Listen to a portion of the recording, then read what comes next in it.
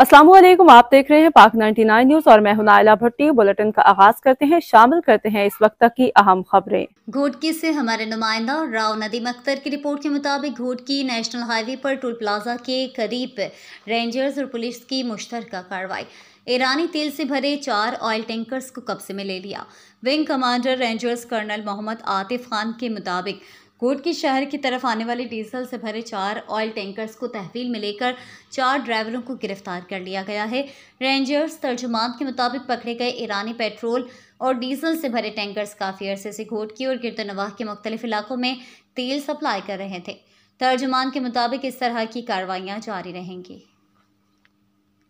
मजीद खबरों और अच्छे अच्छे प्रोग्राम्स के लिए देखते रहिए पाक 99 न्यूज़, अलाने के बाद।